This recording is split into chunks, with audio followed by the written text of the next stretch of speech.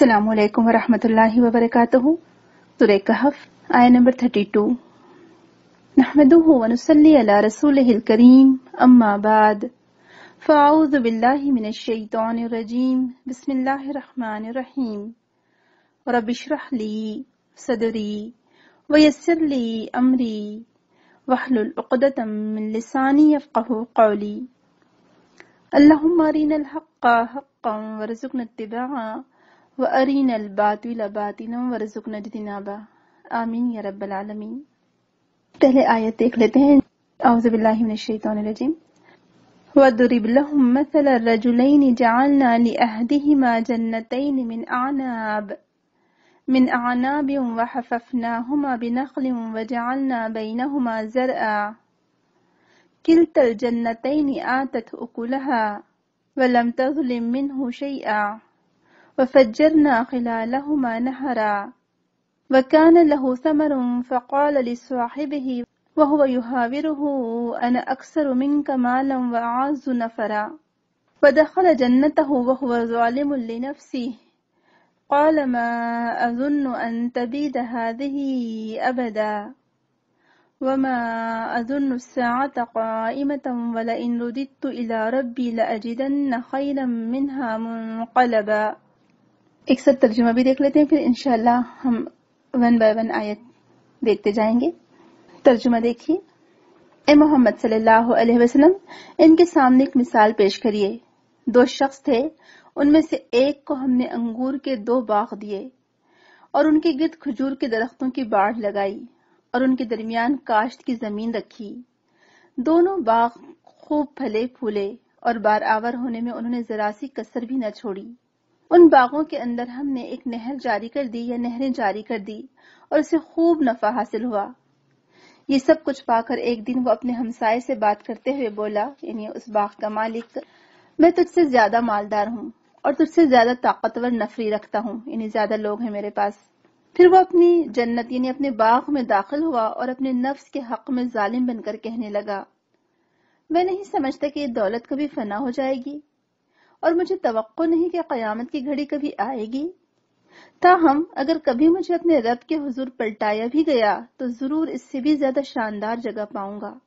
ایک اور ترجمہ دیکھ لیجیے اور بیان کیجیے ان کے لیے مثال دو آدمیوں کی، کہ بنائے تھے ہم نے ایک کے لیے ان میں سے دو باغ انگوروں کے، اور باڑ لگا دی ہم نے دونوں کے گرد کھجوروں کے درختوں کی، اور کی ہم نے درمیان ان کے کھیتی۔ دونوں باغوں نے دیا اپنا پھل اور نہ کم کیا اس میں سے کچھ بھی۔ اور جاری کر دی ہم نے درمیان ان دونوں کے ایک نہر، اور تھے اس کے لیے پھل۔ بس کہا اس نے اپنے ساتھی سے جبکہ وہ گفتگو کر رہا تھا اس سے۔ میں زیادہ ہوں تجھ سے مال میں، اور زیادہ باعزت ہوں تجھ سے بے اعتبار جتھے کے۔ اور وہ داخل ہوا اپنے باغ میں جبکہ وہ ظلم کرنے والا تھا اپنے آپ پر۔ اس نے کہا، نہیں گمان کرتا میں کہ یہ تباہ ہوگا۔ یہ باغ کبھی بھی اور نہیں گمان کرتا میں کہ قیامت قائم ہونے والی۔ اور البتہ اگر بالفرض لوٹایا گیا، میں اپنے رب کی طرف تو ضرور پاؤں گا، میں بہتر ان باغوں سے بھی لوٹ کر جانے کی، جہاں وہ جائے گا، جس جگہ پر پلٹنے کی جو جگہ ہے، نیکی کی جگہ۔ اب یہاں پر جو آج کی ہماری پہلی آیت ہے یعنی آیت نمبر 32 یہاں پر اللہ سبحانہ تعالیٰ ایک باغ کی بات کر رہے ہیں۔ ایک شخص کی بات کر رہے ہیں، جس کو اللہ تعالیٰ نے دو باغ دیے تھے۔ اور اس باغ کا نقشہ ہمارے سامنے کھینچا جا رہا ہے، گویا کہ ہم اپنی آنکھوں سے دیکھ رہے ہیں۔ قرآن میں اللہ سبحانہ تعالیٰ الگ الگ ذریعے سے انسان کو بات سمجھاتے ہیں، تاکہ انسان سدھر جائے، سمجھ جائے، عبرت حاصل کر لے۔ اگر ایک طریقے کار سے نہیں سمجھائے تو دوسرے طریقے کار سے سمجھ لے۔ تو یہاں پر جو چار اسٹوریز تھیں سورہ کہف کی، ان چار اسٹوریز میں سے ایک دوسری اسٹوری کی بات شروع ہو رہی ہے۔ تو جو سیکنڈ اسٹوری ہے، یہ اس میں جو فتنہ بتایا گیا ہے، مال کا فتنہ، دنیا کی جنت، باغات کا فتنہ، یا پھر زینت، دنیا کی جو زینت ہے، اس کا فتنہ۔ تو پہلا فتنہ کون سا تھا؟ پہلی آزمائش کون سی تھی؟ ایمان کی آزمائش تھی۔ اب دوسری آزمائش کس کی ہے؟ مال کی آزمائش ہے۔ عزت اور نفری یعنی کس کے پاس کتنے زیادہ امپلائیز ہیں، کام کرنے والے؟ کتنی بڑی اس کی فیکٹری ہے، کتنے بڑے اس کے ورکرز ہیں، کتنے دنیا میں وہ مال و دولت کماتا ہے، تو دوسرا فتنہ مال کا فتنہ بتایا جا رہا ہے۔ اور آپ کو یاد ہوگا، اوپر ہم نے پڑھا تھا کہ جنات ادن ہے نا؟ جو نیک عمل کرنے والے لوگ ہوں گے، جنات و ادن تجریم تحتہم الانہار۔ وہاں پر بھی جنت کی بات تھی، لیکن وہ کیسی جنت تھی؟ وہ ہمیشگی کی جنت تھی۔ سبحان اللہ یعنی جو دنیا میں اللہ تعالیٰ کی مرضی کے مطابق کام کرتا ہے تو اللہ تعالیٰ فرمانا کہ اس کو ہمیشگی کی جنت ملے گی۔ اور یہاں پر بھی جنت ہی کا لفظ آیا ہے کہ ایک شخص تھا، ہم نے اسے دو باغ دیے تھے۔ لیکن یہاں پر بھی باغ کے لیے لفظ جو آیا ہے، جنت کا ہی لفظ آیا ہے۔ اور جیسے کہ آپ کو معلوم ہوگا، الحمدللہ بہت سارے لوگ اس سے پہلے بھی تفسیر کر چکے ہوں گے۔ جنت جیم نون نون سے جن جن بھی اسی سے نکلا ہے۔ اور انہیں جن چکے نظر نہیں آتے، تو جنت کا معنی ہوتا ہے کہ اتنے گھنے درخت جس سے اندر دھوپ نہ پہنچ سکے۔ یا اتنے گھنے درخت ہوں اس باغ میں کہ جس سے اندر روشنی نہ جا سکے۔ تو اسی لیے جنت وہ ایسی جگہ ہوگی جہاں وہ باغ یعنی جو گارڈن ہوگا، جو جنت ہوگی، وہ باغ یعنی وہ جنت درختوں سے گھری ہوئی ہوگی۔ اطراف سے بالکل یعنی درخت سراؤنڈیڈ ہوگے اس کے، اندر کی کوئی چیز نظر نہیں آئے گی۔ سبحان اللہ۔ تو یہاں پر actually second of the four story یعنی جو چار اسٹوریز اس میں سیکنڈ اسٹوری کی شروعات ہو رہی ہے۔ اور اس میں جو بات کی گئی ہے، یہ دنیا کی جنت کی بات کی گئی ہے، دنیا کے باغ کی بات کی گئی ہے۔ اور پہلے اللہ سبحانہ نے احسن و عملہ والوں کے لیے کیا کہا تھا کہ جو احسن عمل کریں گے، ان کے لیے ہمیش کی والی جنت ہوگی۔ یعنی دنیا میں اللہ تعالیٰ نے جو جنت دی ہے، یہ عارضی ہے۔ اور انسان ان چیزوں سے اٹریکٹ ہوتا ہے، کیونکہ آپ دیکھیں ساری خوبصورتی، جیسے لاسٹ ٹائم بھی ہم نے جو ہم اینڈ کیا تھا اپنی تفسیر کا، اس میں ہم نے یہی کہا تھا نا کہ لوگ مذاق اڑاتے ہیں، جو اللہ تعالیٰ کی ذات کے منکر ہیں، جو آخرت کے منکر ہیں، جو قیامت کے منکر ہیں، وہ مذاق اڑاتے کہ اچھا یہ جنت کیا رکھا ہے اس میں نوزب اللہ اچھا یہاں پر کیا باغات ہوں گے۔ لیکن آپ دیکھیں دنیا میں وہی چیز پسند کرتے ہیں، جتنے بھی بڑے بڑے لوگ ہیں جو نوزب اللہ اللہ تعالیٰ کو بھولے ہوئے ہیں، جو اللہ تعالیٰ کو بھولنے والی بات کرتے ہیں یا اللہ تعالیٰ کے انکار کرتے ہیں۔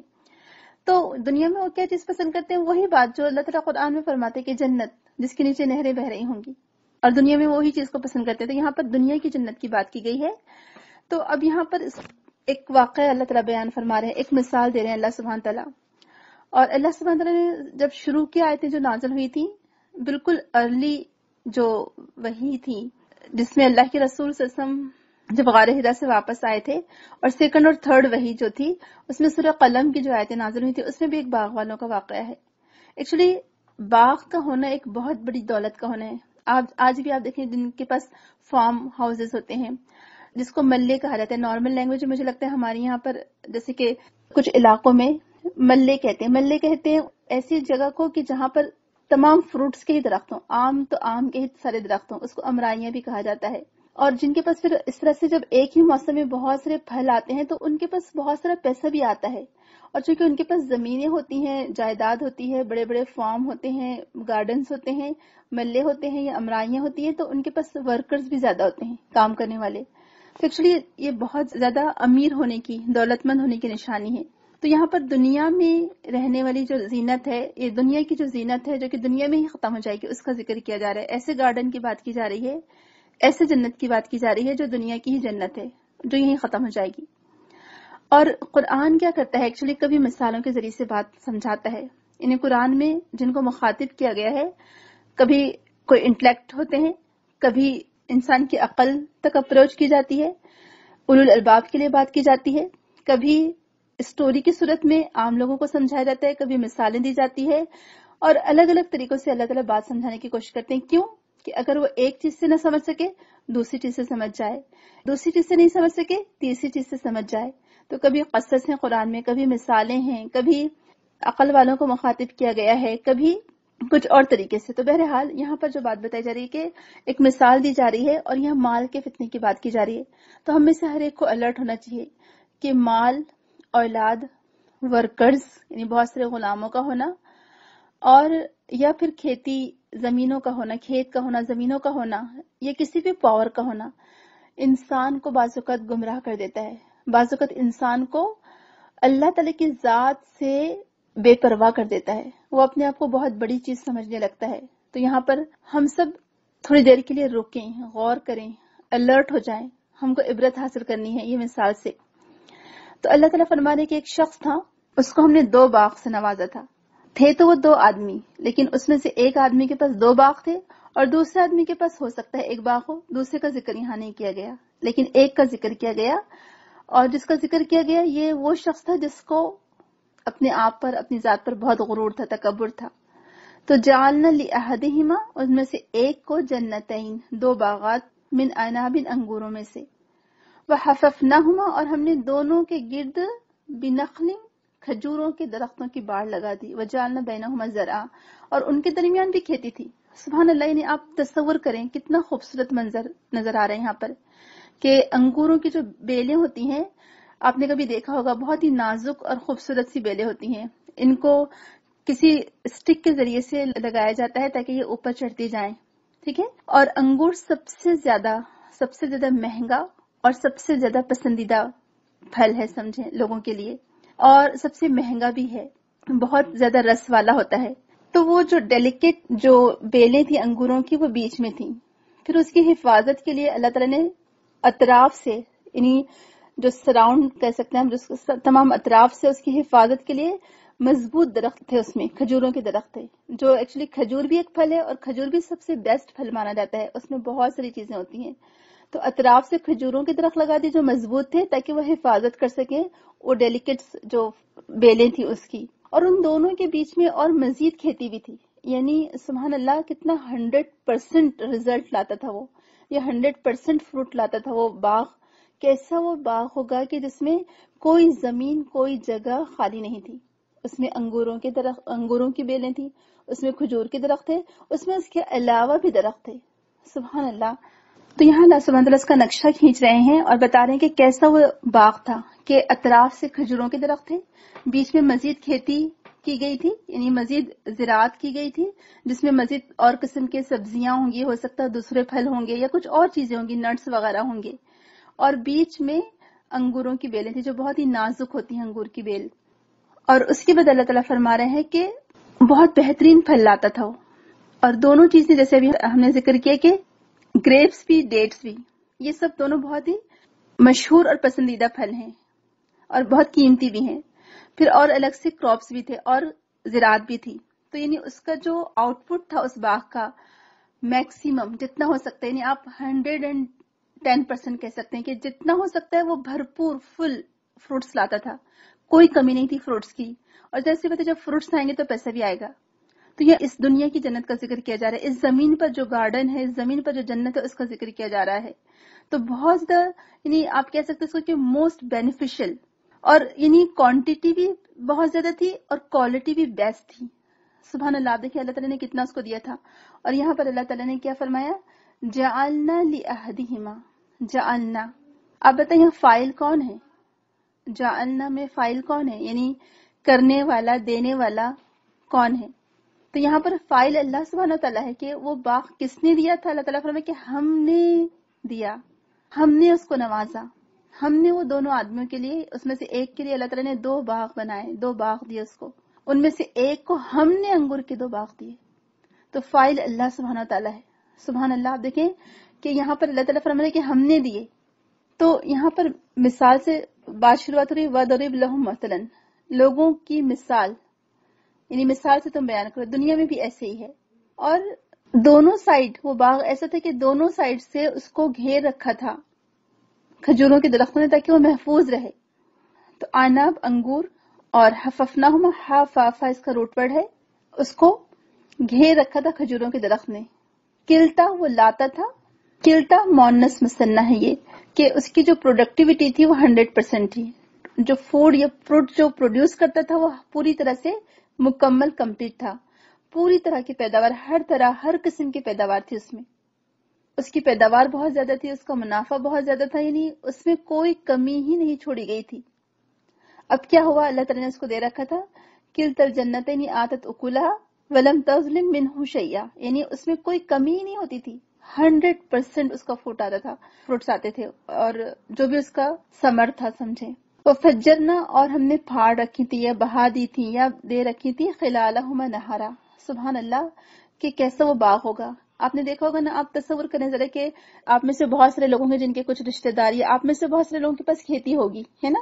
زمینیں ہوگی اور کھیت ایک سمجھے عام سی زمین ہے، لیکن جو باغ ہوتا ہے وہ بہت زیادہ، جس کے پاس باغ ہے وہ بہت مالدار ہے۔ تو یہ باغ کیسا تھا کہ بعض اوقات کہتے ہیں باغ کے لیے یا تو بارش کا انتظار کرنا پڑتا ہے، اللہ تعالیٰ سے دعا کرنی پڑتی ہے کہ اللہ تعالیٰ بارش برسا دے۔ بارش نہیں ہوئی تو زمینیں سوکھ جاتی ہیں اور پھل اتنے اچھے نہیں آتے ہیں، زمین پر گروتھ نہیں ہوتی ہے، پیداوار نہیں ہوتی ہے، زراعت نہیں ہوتی ہے۔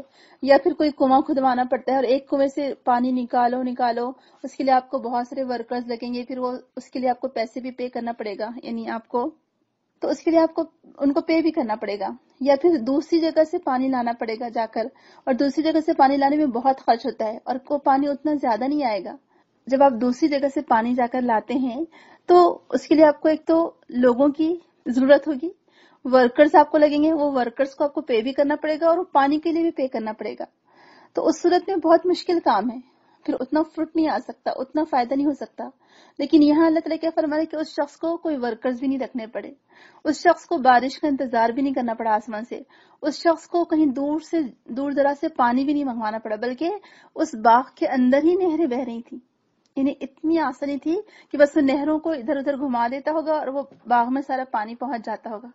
سوچیں ذرا۔ تو ایکچولی یہاں پر زخرف کی بات کی گئی ہے، زینت کی بات کی گئی ہے۔ تو یہ جو زخرف ہے، یہ فتنہ ہے ایکچولی فتنہ۔ تو یہاں پر آزمائش ہے مال کی۔ اور مٹریلزم کے بارے میں بتایا جا رہا ہے کہ جب انسان کے پاس بہت زیادہ دولت آ جاتی، تو بعض اوقات وہ مٹریلزم کی طرف اس کا جھکا ہو جاتا ہے۔ وہ سب کچھ پھر اس دنیا کو سمجھنے لگتا ہے۔ تو وہ فروٹس جتنے ہو سکتے ہیں یعنی ہنڈریڈ پرسینٹ فروٹس اس میں آتے تھے، کیونکہ اس میں نہریں بھی تھی یعنی کوئی لوز کرنے والی بات ہی نہیں تھی۔ پانی بھی بہ رہا ہے، لوگ بھی بہت ہیں، سب کچھ ہے۔ تو اب اس نے کیا کیا؟ فقال علی صاحب ہی تو بس اس نے کہا، اپنے صاحب سے۔ اب یہ صاحب کے بارے میں یہ کون ہے؟ اس کے بارے میں احادیث میں اور تفاصر میں کوئی روایت ہم کو نہیں ملتی ہے۔ بعض مفسرین کہتے کہ یہ اس کا بھائی تھا اور بعض مفسرین کہتے کہ اس کا دوست تھا۔ بہرحال جو بات پتہ چلتی ہے، ہم کو یہاں اس کے نام سے، اس کے بھائی ہونے سے کچھ لینا دینا نہیں۔ اصل بات جو ہماری سیکھنے کی ہے وہ یہ ہے کہ جو دوسرا والا تھا، اس کا ساتھی، ہو سکتا ہے اس کا دوست ہو ہو سکتا ہے اس کا پڑوسی ہو باغ میں، اور اس کے بازو اس کا باغ ہو، اور ہو سکتا ہے دونوں دوست بھی ہو اور ساتھ میں آس پاس میں ان کے باغ بھی ہوں دونوں کے۔ تو اس کا پڑوسی بھی ہو سکتا ہے، اس کا بھائی بھی ہو سکتا ہے، اس کا دوست بھی ہو سکتا ہے، بہرحال جو بھی ہو۔ لیکن اس نے کیا کہا؟ لسواہب ہی وہ یوہاوی روح یوہاوی روح اس کا مطلب ہوتا ہے بات برائے بات، یا سامنے والے پر حاوی ہو کر بات کرنا۔ تو خود جا کر پڑوسی سے کہا میں بہت مالدار ہوں۔ اب آپ دیکھیں کہ اس سے پتہ چلتا ہے کہ انسان کے اندر غرور جب سماتا ہے تو کیسے اس کی یعنی ایک عقل جو ہے، ختم ہو جاتی ہے۔ سوچ سمجھ اس کی، سوچنے سمجھنے کی جو صلاحیت ہے، ختم ہو جاتی ہے۔ تو اس نے وہ یوہاوی رہو۔ بات برائے بات اس نے بات نکالی، خود ہی جا کر گفتگو کی۔ انا، اب یہ جو لفظ ہے، یہ قابل غور ہے۔ یہ لفظ سورہ بقرہ میں آپ کو یاد ہوگا، جو لوگوں نے سورہ بقرہ کی تفسیر کی تھی۔ تو ان کو یاد ہوگا کہ انا کا لفظ کس نے استعمال کیا تھا؟ اور ہم اردو میں بھی انا کہتے ہیں نا۔ ایکچولی انا کہاں سے نکلا ہے؟ ایگو لیکن ایکچولی انا کا مطلب ہوتا ہے میں۔ اور میں کیا ہوتی ہے؟ یہی ایگو ہوتی ہے۔ اور سورہ بقرہ میں آپ کو یاد ہوگا کہ یہ لفظ ابلیس نے استعمال کیا تھا۔ ہے نا؟ یاد آیا ہوگا آپ کو؟ اس نے کیا کہا تھا کہ انا خیر من۔ کہ میں اس سے یعنی اے اللہ تعالیٰ جسے تو نے بنایا ہے مٹی سے، آدم علیہ السلام کو، میں اس سے، اس آدم سے یعنی اس نے کہا تھا شیطان نے، اس سے بہتر ہوں۔ انا خیر من، کہ میں اس سے بہتر ہوں۔ تو نے مجھے آگ سے پیدا کیا اور اس کو مٹی سے پیدا کیا۔ خود ہی ایزیوم کر لیا کہ آگ زیادہ بہتر ہے اور مٹی کمتر ہے۔ اور اللہ تعالیٰ کی نافرمانی کی۔ تو اب یہاں پر یہ شخص کیا کہہ رہا ہے؟ انا اکثر من کا مالم و نفرا۔ کہ میں زیادہ ہوں تجھ سے مال میں اور تجھ سے زیادہ ہوں طاقت ور نفری رکھنے میں۔ یعنی میرے پاس ورکرز بھی بہت زیادہ ہیں لیبر بہت ہے میرے پاس۔ خدام بہت ہیں نوکر چکر کی ایک پوری لائن لگی ہوئی ہے میرے پاس یعنی ورکرز میرے پاس بہت ہیں۔ اور میں مال میں بھی زیادہ ہوں تم سے، عزت میں بھی زیادہ ہوں۔ لاٹ آف امپلائیز ہے میرے پاس۔ میں عزت بھی زیادہ ہے کیونکہ میرے پاس مال زیادہ ہے، اور میں مال بھی زیادہ رکھتا ہوں تم سے۔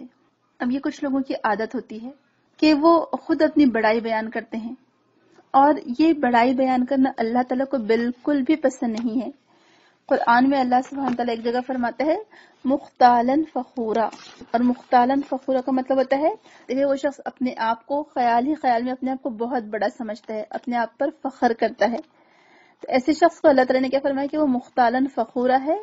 وہ ایکچولی اپنے آپ کو خود بڑا سمجھ رہے دوسرے نہیں بڑا سمجھتے اس کو نہ وہ ہے بڑا، کیونکہ وہ اپنے وہ خیالی پلاؤ بنا رہے وہ اپنی امیجنیشن میں اپنے آپ کو بڑا سمجھتا ہے۔ تو اس نے کیا کہا کہ، انا اکثر من کا معلوم و نفرا۔ کہ میں زیادہ تم سے بہتر ہوں۔ اب آپ بتائیں کتنی اس کی دیدہ دلیری اور کتنی اس کی ہمت کہ خود جا کر سامنے والے سے اپنے دوست سے کرے کہ میں تم سے زیادہ بہتر ہوں۔ اور آپ نے دیکھا ہوگا کہ ہمارے یہاں پر معاشرے میں ہمارے رواج ہے۔ آج یہ غرور اور تکبر کی اتنی عادت پڑ گئی ہے لوگوں کو اور اس قدر لوگوں کو ہیملیٹ کرتے ہیں، اس قدر لوگوں کی تحقیر کرتے ہیں اور اس قدر لوگوں پر تنز کرتے ہیں انڈائریکٹلی کہ بیچارہ سامنے والا اب کیا کہیں یعنی وہ اندر ہی اندر بیچارہ دل مسوس کر رہ جاتا ہے۔ آپ کو مثالیں معلوم ہوگی، آپ خود سوچ سکتے ہیں، ہو سکتا کبھی آپ کے ساتھ یہ واقعات پیش آئے یا ہو سکتا آپ کے سامنے یہ واقعات پیش آئے ہوں۔ جیسے مثال کے طور پر کسی مجلس میں آپ ہیں، آپ کو معلوم ہے کہ اچھا دو لوگ ہیں، فیملی ملنے جلنے والے ایک دوسرے سے، ایک دوسرے سے جان پہچان ہے اب ایک خاتون آتی ہے اور کہتی ہے کہ کیا کیا کریں؟ بہت دیر ہو گئی یہاں جانے میں۔ وہ ایسا ہے نا کہ آج آج ہی ہماری نئی بی ایم ڈبلیو آئی ہے۔ یا وہ آج ہی ہماری نئی ٹویوٹا آئی ہے لینڈ کروزر آئی ہے۔ اس لیے جو ہے اس کی مٹھائی وغیرہ ہم لوگوں نے بانٹی تقسیم کی کار آنے کی خوشی میں، تو اس لیے دیر ہو گئی مجھے آنے میں۔ بائی دے آپ کیسا آئی میں سوچ رہی تھی آپ کے بارے میں کہ آپ کو میں ساتھ لے لوں، کیونکہ آپ کہاں آٹو کے دھکے کھاتی پھریں گی اور رکشے کے دھکے کھاتی پھریں گی؟ آپ کو بھی میں ساتھ لینا چاہ رہی تھی، لیکن دیر ہو گئی۔ اب آپ دیکھیں، بات تو بات تو میں کیا کر دیا کہ یہ جو یوہاویرو ہے نا، کسی پر حاوی ہو جانا بات کرنے میں۔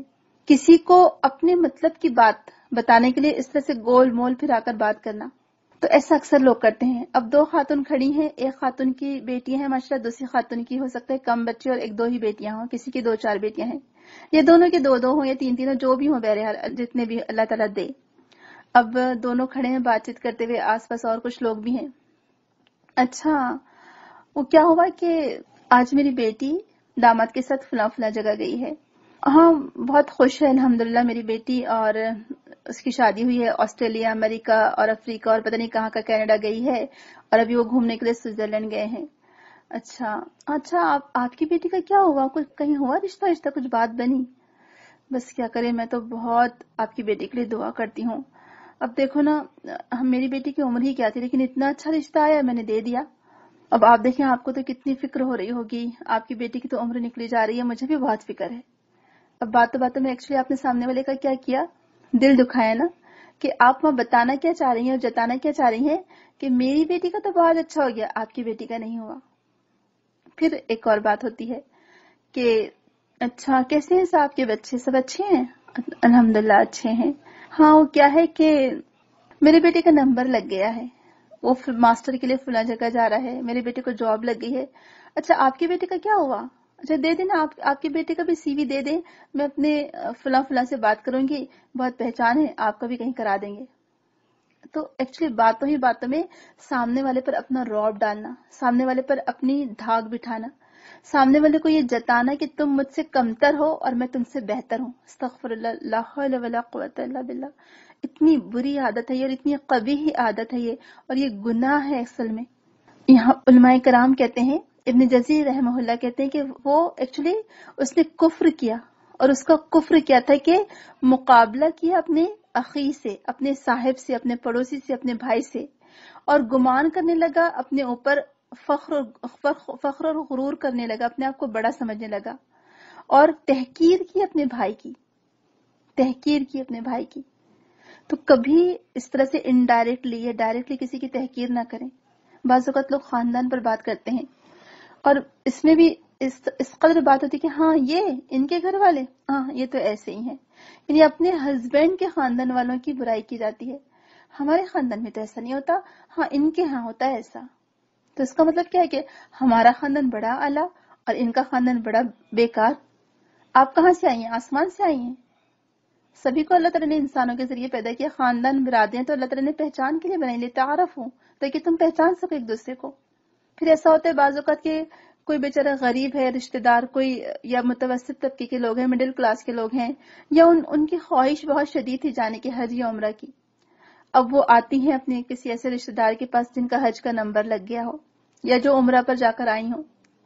اب وہ آتی ہیں، سلام، دعا ہوتی ہے، مبارکباد دی جاتی کہ بھی آپ کو عمرہ مبارک ہو یا حج مبارک ہو یا مبارک ہو کہ آپ کے حج کا نمبر لگ گیا۔ ہاں کیا کروں؟ اللہ تعالیٰ مجھ گناہ گار کو بار بار بلا رہا ہے۔ اب دیکھو ایسے ہی نمبر لگا دیا تھا کوئی ہمارا دل تھوڑی تھا جانے کا۔ لیکن کیا کریں؟ یہ اللہ کی مہربانی ہے کہ وہ مجھ گناہ گار کو بار بار اپنے گھر کا مہمان بناتا ہے۔ اچھا تمہارا کیا ہوا؟ تم کہہ رہی تھی نا کہ تم بھی نمبر لگانے والی ہو، پیسے جمع کر رہی تھی۔ کچھ لگا نمبر نمبر تمہارا؟ اب بیچارے سامنے والے کو کتنا ڈس ہارٹ کر دیا آپ نے۔ تو ایسے ہی ہوتا ہے، ایسے ہی ہوتا ہے کہ آپ کو پتا بھی نہیں چلتا اور آپ کس طرح سے ایک زوم میں آ جاتے ہیں۔ ایک تکبر میں، ایک غرور میں، یہ چیز بالکل بھی پسندیدہ نہیں ہے، یہ اسلامی مزاج ہے ہی نہیں۔ اسلام میں اس کو بالکل ناپسندیدہ قرار دیا گیا ہے۔ اور یہی چیز ختم کرنے کے لیے تو اسلام آیا تھا، الحمدللہ۔ اللہ کے رسول نے یہ سب فرق، یہ بھید بھاؤ، یہ اونچ نیچ، یہ جو کلاس سسٹم ہے ہمارا، upper class, lower class, middle class, third world کے جو تصور آج دنیا میں دیا جاتا ہے کہ اچھی فلاں فلاں کنٹری، ترقی یافتہ کہتے ہیں اپنے آپ کو۔ اور دوسرے ممالک کو ترقی پذیر کہتے ہیں۔ تھرڈ ورلڈ کہا جاتا ہے۔ کتنی عجیب بات ہے نا یہ کہ ہم نے اس طرح سے کلاس سسٹم بنا رکھے ہیں۔ تو یہ اسلام میں بالکل جائز نہیں ہے۔ تو قطع رحم اللہ کہتے ہیں، ابن کثیر ان کا یہ کوٹیشن نقل کرتے ہیں، کہتے ہیں کہ تل کو اللہ امنیت الفاجر۔ یہ جو یہ جو تمنائیں ہیں، یہ ایک فاجر کی یعنی وہ قسم کھا کر کہتے ہیں کہ یہ آرزو، یہ تمنا فاجر کی ہوتی ہیں۔ کثرت المال و عزت النفر۔ یعنی وہ اس کو ہی سب کچھ سمجھنے لگتا ہے اور وہ یہ سمجھتا ہے کہ جو مجھے دنیا میں ملا ہے، آخرت میں بھی مجھے مل جائے گا۔ اور وہ یہ گمان کرنے لگتا ہے یا مطلب وہ سمجھتا ہے کہ بہت زیادہ مال کا ملنا اور بہت زیادہ نفری کا ہونا یعنی بہت سارے ورکرز کا ہونا میرے لیے فائدہ مند ہے۔ لیکن یہ چیز بعض اوقات آزمائش ہوتی ہے۔ تو اس نے بات برائے بات باتوں ہی باتوں میں کہا کہ میں بہت زیادہ ہوں مال اور اولاد میں اور نفری میں تم سے۔ یعنی ایک آدمی ہے، کیا کہہ رہا ہے؟ آپ سوچیں ذرا، آپ کے سامنے کوئی آدمی آتا ہے کہتا ہے، آپ تصور کریں کہ آپ کے سامنے کوئی آئے، کوئی خاتون آئی سمجھا آپ کے سامنے اور کہ کہ آئی، میں میں تم سے زیادہ عقل مند ہوں، میری تعلیم تم سے زیادہ ہے، میرے پاس اولاد زیادہ ہے، میرے بیٹے زیادہ ہے، میرے ہسبینڈ کی تنخواہ زیادہ ہے، میری عزت زیادہ ہے، میرا گھر تم سے اچھا ہے۔ ایسا جملہ کہے تو آپ کو کیا اچھا لگے گا؟ آپ بتائیں۔ لیکن وہ بیچارہ سامنے والا شخص خاموشی سے سنتا رہا۔ اس نے جب مال کی بات کی، اس نے جاہو جلال کی، عزت کی بات کی، نفری کی بات کی، وہ سنتا رہا بیچارہ۔ تو کہ اس مال سے وہ جب اللہ تعالیٰ نے کسی کو مال دیا تو اس سے کوئی اس کا مطلب, مطلب نہیں کہ وہ بہت اچھا پرسن تھا۔ میں بہتر اس نے کہا، میں وہ تکبر اور غرور میں مبتلا ہو گیا۔ تو جب وہ اپنے باغ میں داخل ہوا تو اس کے داخل ہونے کا طریقہ یہ بتایا جا رہا ہے کہ وہ داخل کیسے ہوا۔ ظالم نفسی کہ وہ دخل جنت ہوا ظالم نفسی جب وہ داخل ہوا باغ میں تو وہ اپنے نفس پر خود ظلم کر رہا تھا۔ اس نے کسی پر ظلم نہیں کیا، اپنے آپ پر ظلم کیا یعنی وہ خود اپنا ہی دشمن بننا ہوا تھا۔ ما اظن ان تبید هذه ابدا۔ میں نہیں گمان کرتا کہ یہ خراب ہو جائے گا، برباد ہو جائے گا، یہ زمین سوکھے گی۔ یہ جو تبیدہ کا لفظ آیا یہاں پر، یہ بہت اسپیشل لفظ ہے۔ ایک تو خود کے باغ میں وہ داخل ہوا کہ جب وہ باغ میں داخل ہوا تو خود ہی اپنے اس نے ایزیوم کر لیا، خود ہی اس نے گمان کیا کہ میں بہت اچھا ہوں، مال میں، ہر چیز میں۔ اور خود کے باغ میں داخل ہو کر اس نے کہا کہ میں نہیں گمان کرتا کہ باغ تباہ ہوگا۔ بادہ یبید بیادن الحلاق الارض خاصہ یعنی خاص زمین کا ہلاک ہونا اس کے لیے لفظ استعمال ہوتا ہے۔ اور آپ نے بادہ کا لفظ سنا ہوگا، اردو میں بھی استعمال ہوتا ہے باد صبا ہم کہتے ہیں نا۔ ہوا کو کہا جاتا ہے۔ تو ایسی ہوا، ایسا پالا پڑنا جس سے زمین ڈسٹرکٹ ہو جائے۔ ڈسٹرکشن کے معنوں میں آتا ہے اور specially destruction of farm destruction of garden زمین کا سوکھ جانا the death of the land یعنی زمین کا مردہ ہو جانا۔ تو وہ کہتے کہ مجھے نہیں لگتا کہ یہ باغ کبھی سوکھے گا۔ مجھے نہیں لگتا کہ باغ کبھی برباد ہوگا۔ مجھے نہیں لگتا کہ یہ باغ کبھی تباہ ہوگا۔ خود ہی عظیم کر رہا ہے۔ اور چونکہ اس نے اس کا وہ دیکھا تھا ہرا بھرا ہونا یعنی یہ کامیابی، یہ گارڈن یہ ہرا بھرا باغ، جو فروٹ سے لدا ہوا ہے، باغ، پھلوں سے لدا ہوا باغ ہے، اور جس کی وجہ سے اس کے پھلوں کی وجہ سے باغ کے جو درخت وہ جھکے پڑتے تھے۔ تو وہ سمجھ رہے کہ میں نہیں سمجھتی کہ ختم ہو جائے گا۔ اتنا اچھا ہرا بھرا باغ کبھی ختم نہیں ہو سکتا۔ تو یہ جو یعنی وہ ظالم نفسی کا جو مطلب ہے کہ مطلب آپ خود سوچ لیں کہ اس کا چلنے کا انداز کیسا ہوگا۔ یعنی وہ خود کو ہی نقصان پہنچا رہا تھا۔ یعنی خود کے لیے وہ ورسٹ ثابت ہو رہا تھا۔ خود ہی گمان کر رہا تھا۔ تو کہنے لگا کہ میں نہیں گمان کرتا کہ یہ ختم ہوگا۔ اب دیکھیں ادھر کیا ہے۔ جنات و ادن کے ساتھ ابدا کا لفظ آتا ہے کہ اللہ تعالیٰ جب بھی قرآن میں ذکر کرتے ہیں کہ ہم ان کو ہمیشگی کی جنت عطا کریں گے۔ ہمیشہ ہمیشہ کی۔ لیکن یہ جو ہے، دنیا کی جنت کبھی بھی ہمیشہ باقی نہیں رہ سکتی۔ ہم سب جانتے ہیں کہ دنیا تو ختم ہو جانے والی ہے۔ تو یہ ایک اور گناہ کر رہا ہے۔ پہلے تو تکبر کیا، غرور کیا، سامنے والے پر اپنی دھاگ بٹھائی، سامنے والے کو حقیر جانا، تحقیر کی اس کی، اس کو ذلیل کیا۔ اور اب ایک اور گناہ کیا کر رہا ہے کہ میں نہیں سمجھتا کہ یہ ختم ہو جائے گا۔ یعنی وہ جو جنات العدن کو وہ یہاں ملا رہا ہے۔ جبکہ یہ دنیا کی جو جنت ہے وہ تو ختم ہو جائے گی۔ تو دنیا کی جنت میں کھو جانے سے آخرت کی جنت یاد نہیں رہتی اور نہ ہی پھر اس کے لیے کوشش ہوتی ہے۔ لکھ لیں آپ لوگ یہ جملہ اور اس کو ہمیشہ اپنے ذہن میں دہراتے رہیں کہ دنیا کی جنت میں کھو جانے سے آخرت کی جنت یاد نہیں رہتی اور نہ ہی پھر وہ آخرت کی جنت کے لیے کوشش ہوتی ہے۔ کیوں؟ کیونکہ وہ سمجھتے کہ دنیا میں جنت مل گئی تو یہی سب کچھ ہے۔ اب مجھے کوئی اب اور میں کون سی جنت حاصل کروں؟ اب میں اور کیا کوشش کروں؟ مجھے کس چیز کی ضرورت ہے؟ تو مسلم اور کافر اور مومن اور منافق، ان دونوں میں فرق ہوتا ہے۔ منافق میں اور منافق اور کافر، وہ یہ دنیا کو ہی سب کچھ سمجھتا ہے، جبکہ یہ دنیا ایک امتحان گاہ ہے، ہم سب جانتے ہیں۔ انسان بعض اوقات یہ سوچتا ہے کہ اس کو سب کچھ دنیا میں مل رہا ہے مطلب یہ مجھ سے اللہ تعالیٰ راضی ہے۔ اور پھر وہ سامنے والے کی انسلٹ کرنے میں کوئی کسر نہیں چھوڑتا ہے انتہا کر دیتا ہے۔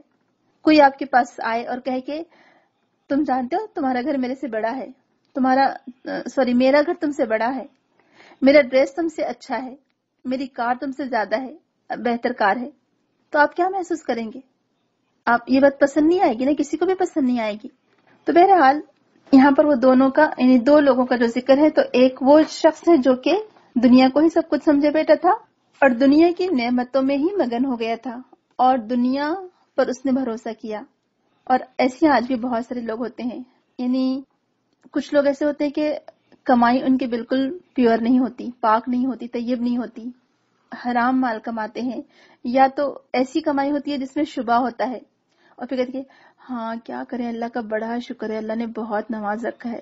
مجھ گناہ گار کو اللہ تعالیٰ اتنا نواز رہا ہے، اتنا نواز رہا ہے، پتہ نہیں اللہ کی کیا مرضی ہے۔ پھر اپنی کمائی کو وائٹ کرنے کے لیے مسجدیں بنائی جاتی ہیں۔ آمین دلائی جاتی ہے، فاتحہ کروایا جاتا ہے، بسم اللہ کرائی جاتی ہے۔ کمائی ساری پاک نہیں ہے، کمائی شک و شبے والی ہے۔ اور اس سے کام کروائے جاتے ہیں نیک۔ تو اس سے پیسہ یعنی آپ دس ہزار حرام کے کما کر ایک ہزار سے آپ غریبوں کی مدد کر دیں تو یہ کوئی نیکی تھوڑی ہوئی، اس سے وہ باقی کے نو ہزار پاک نہیں ہو جائیں گے۔ تو ایکچولی آج دنیا میں یہی معاملہ ہے۔ اور وہ وہ شخص کیا کر رہا ہے؟ اس کا پورا فوکس دراصل اس دنیا پر ہے ورلڈلی لائف پر ہے۔ اس کو آخرت کی کوئی فکر ہی نہیں ہے۔ تو وہ اتنا یعنی اتنی آسانی سے وہ کہہ رہا ہے کہ یہ جو ہے کبھی برباد نہیں ہوگا، یہ کبھی سوکھے گا نہیں، ہمیشہ ہمیشہ باقی رہے گا۔ آگے دیکھیے کیا کہتے ہیں، اور مزید ایک قدم آگے بڑھ کر کہتے ہیں، وما ظن الساعة قائمة ولا ان رددت الى ربي لاجدن خيرا منها منقلبا۔ اب آپ سوچیں کہ یعنی وہ کیا گمان کر رہا ہے۔ مجھے نہیں لگتا، میں نہیں سمجھتی کہ دولت کبھی فنا ہو جائے گی، اور مجھے توقع نہیں کہ قیامت کی گھڑی کبھی آئے گی۔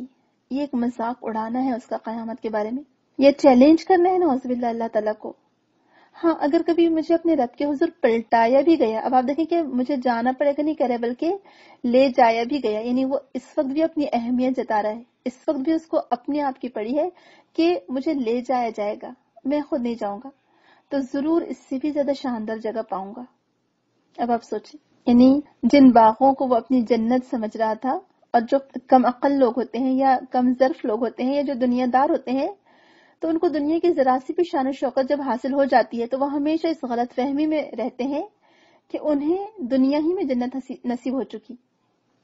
اب اور کون سی جنت سے حاصل کرنے کی وہ فکر کریں؟ اور پھر دوسری اس کی آگے اور مزید سوچ کیا خراب ہوئی، کہنے لگا کہ اگر بالفرض کوئی دوسری زندگی ہے بھی، اس دنیا کے بعد بھی کوئی زندگی ہے، تو وہاں پر بھی میں اس سے زیادہ خوشحال رہوں گا۔ کیونکہ یہاں میرا خوشحال ہونا اس بات کی دلیل ہے کہ میں اللہ تعالیٰ کا محبوب اور اس کا چہیتا ہوں۔ کتنی بڑی غلط فہمی آپ دیکھیں۔ تو اب یہاں پر مزید اس کا جو میٹرلزم ہے، آپ دیکھیں اس کو کہاں پہنچاتا ہے۔ فوکس کس پر کرتا ہے وہ؟ دنیا پر۔ دنیا کا دل میں بس جانا، یہ سب سے بڑا بت ہے اصل میں۔ یہ شرک ہے۔ اللہ نے دنیا میں اچھا رکھا؟ ایبسلیوٹلی ریٹرن جب میں ہوں گا تو میں وہاں پر بھی اچھا ہی پاؤں گا۔ تو فوکس دنیا ہے اور دنیا میں اچھا مل جانا اس بات کی نشانی ہے کہ وہ سمجھتے کہ ہم کو آخرت میں بھی اچھا ملے گا اور سیم جو کفار مکہ تھے، ان کا کنسپٹ بھی یہی تھا۔ آپ پیچھے دیکھیں کہ ولاد عینا کا اور آپ کی نظریں نہ تجاوز کریں۔ اور آپ کے اپنے جو ساتھی ہیں، ان کو دور نہ کریں جو صبح شام اللہ تعالیٰ کو پکارتے ہیں۔ کیونکہ جو امیہ بن خلف اور جتنے بڑے بڑے سرداران قریش تھے، وہ کیا کرے تھے کہ ہٹاؤ ان کو یہ، بلال کو، یہ سہیب، رومی کو، یہ جو بھی وہاں پر صحابہ تھے، خباب بن عرد جو غریب صحابہ تھے، وہ کہتے تھے کہ ان کو ہٹاؤ۔ یہ غریب لوگ اور یہ غریب لوگ اگر یہ واقعی میں صحیح راستے پر ہوتے تو اللہ تعالیٰ ان کو دنیا میں نوازتا لیکن ان کا دنیا میں نہ نوازا جانا اس بات کی علامت ہے کہ اللہ تعالیٰ ان سے راضی نہیں، بلکہ اللہ تعالیٰ ہم سے راضی ہیں۔ سوچے ان کی امیجنیشن تمنا آرزویں تو جو مومن ہوتا ہے وہ تمناؤں پر نہیں جیتا ہے، آرزوؤں پر نہیں جیتا ہے۔ جیسے کہ اللہ تعالیٰ نے سورہ بقرہ میں ہی فرمایا کہ بنی اسرائیل کی یہودیوں کی آرزویں کیا تھی تمنا کیا تھی کہ ہزاروں سال تھی اور ان انہوں نے ازیوم کر لیا تھا، انہوں نے گمان کر لیا تھا کہ ہم بخشے بخشائے ہم تو ابراہیم علیہ السلام کا سہارا لے لیں گے اور ابراہیم علیہ السلام ہمیں جہنم کے دروازے پر بیٹھ کر ہم سب کو وہاں سے بچا لیں گے۔ یعنی یہ ان کی عرض اور تمنا تھی اور یہی کانسیپٹ کے بارے میں قرآن ہمیں بار بار یاد دہانی کرواتے قرآن مختلف مقامات پر، کیونکہ قرآن ہی بعض اوقات اپنے بعض حصوں کی تفسیر کرتے ہیں القرآن یفسر و بعدہم بعدا کہ بعض آیتوں کے قرآن خود تفسیر کر دیتا ہے۔ تو اللہ تعالیٰ سورہ مریم میں ارشاد فرماتے ہیں سورہ مریم آیت نمبر 73 74 جی ہاں۔ تو 74 75 آیت میں اللہ تعالیٰ فرماتا ہے، وَكَمْ أَهْلَكْنَا قَبْلَهُ مِنْ قَرْنٍ هُمْ أَحْسَنُ أَثَاثًا وَرِئِيًا۔ قُلْ مَنْ كَانَ فِي الضَّلَالَةِ فَلْيَمْدُدْ لَهُ الرَّحْمَنُ مَدًّا۔ حَتَّى إِذَا رَأَوْا مَا يُوعَدُونَ إِمَّا الْعَذَابَ وَإِمَّا السَّاعَةَ، فَسَيَعْلَمُونَ مَنْ هُوَ شَرٌّ مَكَانًا وَأَضْعَفُ جُنْدًا۔ یہاں پر اللہ تعالیٰ ایسے لوگوں کے بارے میں بتا رہا ہے جو کہ دنیا میں ہی سب کچھ اب سمجھتے کہ ہم کو اللہ تعالیٰ نے دے رکھا ہے، تو مطلب اللہ تعالیٰ ہم سے خوش ہے۔ تو انہیں لوگوں کے بارے میں اللہ تعالیٰ فرما رہا ہے کہ کل من کانا، ان سے کہو جو شخص گمراہی میں مبتلا ہوتا ہے، اسے رحمان ڈھیل دیا کرتا ہے۔ وہ کم اہلک نہ قبل من قرن، ہم احسن و اساسم ایت نمبر سیونٹی فور۔ کہ وہ کہتے تھے کہ بتاؤ ہم دونوں گروہوں میں سے ان ان لوگوں کو جب ہماری کھلی کھلی آیت سنائی جاتی ہیں، تو انکار کرنے والے، ایمان لانے والوں سے کہتے ہیں بتاؤ ہم دونوں گروہوں میں سے کون بہتر حالت میں ہے اور کس کی مجلس سے زیادہ شاندار ہیں؟ حالانکہ ان سے پہلے ہم کتنی ہی ایسی قوموں کو ہلاک کر چکے ہیں جو ان سے زیادہ سر و سامان رکھتی تھیں اور ظاہری شان و شوکت میں ان سے بڑھی ہوئی تھیں۔ تو اس سے کیا پتہ چلتا ہے کہ کفار مکہ یہ سمجھتے تھے وہ ازیوم کرتے تھے کہ ہم چونکہ دنیا میں خوشحال ہیں، ہم کو بیٹوں سے نوازے اللہ تعالیٰ نے ہم کو مال و دولت سے نوازے ہم کو سرداری دی ہے، لہٰذا اللہ تعالیٰ ہم سے راضی ہے۔ اللہ تعالیٰ فرماتا ہے کہ دنیا میں اچھی مجلس سے ہونا، دنیا میں شان و شوکت کا ہونا، یہ کوئی اس بات کی علامت نہیں ہے کہ اللہ تعالیٰ آپ سے راضی ہے، بلکہ اصل تو کون لوگ کامیاب ہیں جو اللہ تعالیٰ کو پکارتے ہیں دن رات، جو اللہ تعالیٰ کی اطاعت میں لگے رہتے ہیں، جو رسول کی بات مانتے ہیں، وہ کامیاب لوگ ہیں۔ تو بہرحال ہمیشہ سے دنیا والوں کا ایک کانسیپٹ رہا ہے کہ دنیا میں مال و اولاد کا ہونا مطلب اللہ تعالیٰ ان سے راضی ہے۔ اور کہتے ہیں کہ جب یہاں اللہ تعالیٰ ہم سے راضی ہے تو آخرت اگر ہوگی بھی تو وہاں پر اللہ تعالیٰ ہم کو اس سے بھی زیادہ دے گا۔ یہ بہت غلط سوچ ہے۔ تو بہرحال تو وہ کہہ رہے کہ میں خود نہیں جاؤں گا بلکہ لے کر جایا گیا اگر مجھے، تو اس صورت میں بھی میں وہاں پر بہتر ہی رہوں گا۔ وہاں مجھے اس سے زیادہ دیا جائے گا۔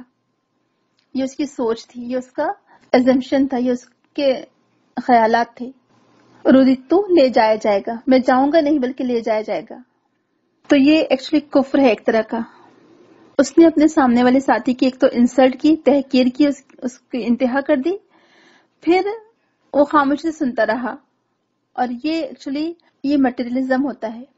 اور اس لیے کہا گیا کہ یعنی وہ شخص اللہ تعالیٰ کو تو جانتا تھا۔ اب یہ بارے میں ہم بحث نہیں کر سکتے یہاں پر کہ وہ مسلمان تھا کہ نان مسلم تھا۔ بہرحال وہ جو بھی رہا ہو۔ لیکن یہاں یہ بات بتائی جا رہی ہے اور یہاں یہ بات ہمارے سمجھنے کے لیے ہے کہ وہ شخص اللہ تعالیٰ کو مانتا تھا۔ لیکن دنیا اس پر اتنی چھا گئی تھی، اتنا وہ مٹرلزم کی طرف جھک گیا تھا یا اس کی طرف راغب ہو گیا تھا، یا مٹرلسٹک بن گیا تھا۔ اس کا سارا فوکس اس کا سارا توکل دنیا پر تھا، اس باغ پر تھا کہ باغ کبھی تباہ نہیں ہوگا۔ بعض اوقات لوگ کہتے ہیں کہ ہاں ہم نے وہ فلاں کمپنی کی کار لی ہے نا، یا ہم نے وہ فلاں کمپنی کی کوئی فلاں فلاں مشین لی ہے۔ وہ خراب ہوتی نہیں ہے، بالکل ہو ہی نہیں سکتی خراب۔ تو توکل سارا کس پر ہے؟ کار پر، اس مشین پر۔ اچھی کمپنی ہے تو وہ اچھی کمپنی پر۔ تو نہیں، اللہ تعالیٰ کے یعنی اللہ تعالیٰ چاہے ہی تو کوئی چیز میں پائیداری آ سکتی ہے۔ اللہ تعالیٰ چاہے ہی تو وہ چیز درست اور صحیح رہ سکتی ہے، ورنہ تو خراب ہونے میں کچھ بھی دیر نہیں لگتی کسی چیز کو۔ تو شرک کیا ہے؟ اس کا جو گارڈن تھا، اس گارڈن کے جو درخت تھے اور پھل تھے، تو اس نے ان کو ہی سب کچھ سمجھا۔ اس پر اس نے بھروسہ کیا۔ تو شرک، توکل فی دنیا یہ شرک ہے۔ یعنی آپ دنیا پر بھروسہ کر کے بیٹھ جائیں اور دنیا کی چیزوں پر ہی ڈپینڈ ہو جائیں اور دنیا کی چیزوں کو ہی اپنا سب کچھ سمجھنے لگے تو یہ دراصل ایک قسم کا شرک ہوا۔ تو اس لیے یہاں پر یہ بات بتائی گئی کہ وہ اپنے نفس پر ظلم کر رہا تھا اور اس نے کہا کہ مجھے نہیں لگتا کہ کبھی بھی ختم ہوگا اور اس نے گمان کیا کہ قیامت قائم نہیں ہوگی۔ وما اظن الساعه قائمه ولئن رددت الى ربي لاجدن خيرا منها منقلبا۔ اگر قیامت قائم ہو بھی گئی، میں لوٹایا بھی گیا، مجھے لے جایا بھی گیا اگر اپنے رب کی طرف یا رب کی طرف لاجدن میں ضرور پاؤں گا خیرن بہتر منہا اس سے منقلبا۔ جو لوٹائے جانے کی جگہ ہے، جہاں پر جس جگہ میں جاؤں گا تو۔ اب آپ سوچیں کہ کس کا تو اس کی یعنی خود پسندی کس قدر اس کے جو خیالات تھے یا اس کی تمنا اور آرزویں تھی وہ کتنا اپنے آپ کو بہت اچھا سمجھ رہا تھا۔ تو اس نے کہا کہ میں اگر میں پلٹایا بھی گیا تو ضرور اس سے بھی زیادہ شاندار جگہ پاؤں گا۔ تو یہاں پر ایکچولی علامہ سعدی کہتے ہیں کہ بھلا کیا ہو سکتا ہے دونوں کا مقابلہ، دنیا اور آخرت کا؟ دنیا تو ختم ہو جانے والی ہے، جبکہ آخرت باقی اور پائیدار ہے، وہ رہنے والی ہے ہمیشہ۔ تو ایکچولی یہاں یہ بتایا جا رہا ہے کہ اس نے آخرت کا ذکر بھی کیا تو ایک مذاق کے طور پر، تمسخر کے طور پر، اور اس اس چیز نے اس کے کفر میں اور اضافہ کر دیا۔ یا ہو سکتا ہے وہ یہ حقیقت یعنی وہ حقیقت میں یہی سمجھتے کہ مرنے کے بعد دوبارہ زندہ نہیں کیا جائے گا۔ تو ایسا شخص دنیا کا جاہل ترین شخص ہے اور عقل سے بے بہرا ہے۔ کیونکہ دنیا کی عطا اور آخرت کی عطا میں بہت زیادہ فرق ہے۔ دونوں میں سملیرٹی نہیں ہو سکتی۔ دنیا میں کسی نعمت کا ہونا اس بات کی علامت نہیں ہے کہ آخرت میں اللہ تعالیٰ آپ کو ضرور اس نعمت سے نوازے گا۔ تو کوئی نادان شخص ہی اپنی جہالت کی بنا پر یہ سمجھ سکتا ہے کہ جسے اللہ تعالیٰ نے دنیا میں عطا کر دیا ہے، اسے آخرت میں بھی ضرور عطا کیا جائے گا۔ یہ بہت بڑی غلط فہمی ہے۔ اللہ تعالیٰ اپنے جو خاص بندے ہوتے ہیں، جو اللہ تعالیٰ کے اولیاء ہوتے ہیں، بعض اوقات اللہ تعالیٰ ان کو دنیا سے دور کرتا ہے، دنیا ان سے دور ہٹا دیتا ہے اور اپنے دشمنوں کو دنیا عطا کرتا ہے، جن کا آخرت میں کوئی حصہ نہیں ہوتا۔ تو بظاہر تو یہ معلوم ہوتا ہے کہ اس شخص کو حقیقت کا علم تھا، مگر اس نے بات محض مذاق اڑانے کے طور پر کہی۔ اور اس کی دلیل کی اللہ تعالیٰ کا یہ ارشاد کہ وہ دخل جنت وہ ظالم النفسی وہ اپنے باغ میں گیا جبکہ وہ اپنے ساتھ ظلم کر رہا تھا۔ بس باغ میں داخل ہوتے وقت اس سے صادر ہونے والے جو کلمات ہے اس سے اس شخص کا پتہ چلتا ہے کہ اس کا مزاج کیسا تھا۔ یعنی وہ دنیا کو ہی سب کچھ سمجھے ہوئے تھا اور دنیا پر ہی وہ توکل کر رہا تھا۔ بہرحال اللہ تعالیٰ ہم سب کو اسے محفوظ رکھے۔ تو یہاں پر دنیا میں سب کچھ مل جانا اس بات کی علامت نہیں ہے کہ اللہ تعالیٰ آپ سے راضی ہے یا اللہ تعالیٰ آپ کو آخرت میں بھی ضرور دے گا، نہیں، بلکہ بعض اوقات اللہ تعالیٰ دنیا میں اپنے جو نیک بندے ہوتے ہیں ان کو دنیا نہیں دیتا یا دنیا میں سے کچھ حصہ نہیں دیتا، بلکہ ان سے دنیا کو دور کر دیتا ہے، لیکن آخرت میں ان کے لیے پھر سب کچھ ہوتا ہے۔ تو دنیا میں اگر کچھ نہ بھی ملے تو اس پر کوئی افسوس نہ کریں۔ یہ آزمائش ہے۔ مال کا ملنا بھی آزمائش ہے، مال کا نہ ملنا بھی آزمائش ہے۔ ہر چیز ایک آزمائش ہے۔ چاہے مال ہو، چاہے اولاد ہو، چاہے قوت ہو، چاہے ورکرز ہو، نفری ہو، آپ کے پاس کتنے بھی ملازم ہو، یہ سب کیا ہے؟ ایک ایک آزمائش ہے۔ تو بہرحال یہاں پر اس شخص کی بات کی گئی ہے جو کہ اللہ تعالیٰ کو ناپسند تھا شخص، کیونکہ ناپسند ہونے کی وجہ سے یا اس کے الفاظ، اس کے جملوں کی وجہ سے اللہ تعالیٰ نے اس کو ناپسند کیا۔ اور پھر اس کے باغ پر ایک بلا آ گئی۔ وہ انشاءاللہ ہم اگلی دفعہ پڑھیں گے۔ اللہ تعالیٰ ہمیں غرور تکبر سے بچائے، ہمیں اپنے اندر آجزی پیدا کرنے والا کرنے والا بنائے۔ اللہ تعالیٰ ہمارے ہماری کوتاہیوں سے درگزر کرے۔ اگر ہم سے کبھی کہیں ایسی غلطی ہو گئی کہ ہم نے کسی پر کوئی احسان جتا دیا، یا کسی کے سامنے اپنی بڑائی بیان کر دی، تو اللہ تعالیٰ اس کے لیے ہمیں دنیا میں ہی معاف کر دے۔ اور اگر ہم نے کسی کا اس طرح سے دل دکھایا ہے، بڑی بات کر کے، تو اللہ تعالیٰ ہمیں معاف کرے اور اس شخص کی بھی مغفرت فرمائے۔ اس کے لیے بھی ہم معافی مانگتے ہیں۔ اللہ تعالیٰ ہمارے اندر آجزی درگزر کرنے کی صفت پیدا کرے۔ آمین۔ سبحانک اللہم و بحمدکا نشہد اللہ الہ الا انتا نستغفرک و نتوب الیک۔ السلام علیکم ورحمت اللہ وبرکاتہ۔ واضرب لهم مثلا الرجلين جعلنا لأحدهما جنتين من أعناب وحففناهما بنخل وجعلنا بينهما زرعا. كلتا الجنتين آتت أكلها ولم تظلم منه شيئا. وفجرنا خلالهما نهرا. وكان له ثمر فقال لصاحبه وهو يحاوره أنا أكثر منك مالا وأعز نفرا. ودخل جنته وهو ظالم لنفسه قال ما أظن أن تبيد هذه أبدا. وما أظن الساعة قائمة ولئن رددت إلى ربي لأجدن خيرا منها منقلبا